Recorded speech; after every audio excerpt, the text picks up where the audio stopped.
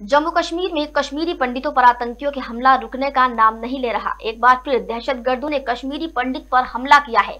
बताया जा रहा है कि शोपिया में आतंकियों ने एक कश्मीरी पंडित की गोली मारकर हत्या कर दी। आतंकियों की साजिश का निशाना बने कश्मीरी पंडित का नाम पूरन कृष्ण भट्ट बताया जा रहा है, जो शोपिया के चौधरी गुंड के रहने वाले थे।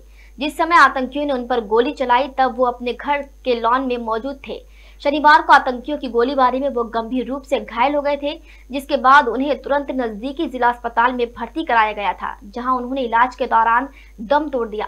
पुलिस ने बताया कि पूरन कृष्ण की हत्या के बाद पूरे इलाके की घेराबंदी कर दी गई है और आतंकियों को पकड़ने के लिए तलाशी अभियान शुरू हो गया है।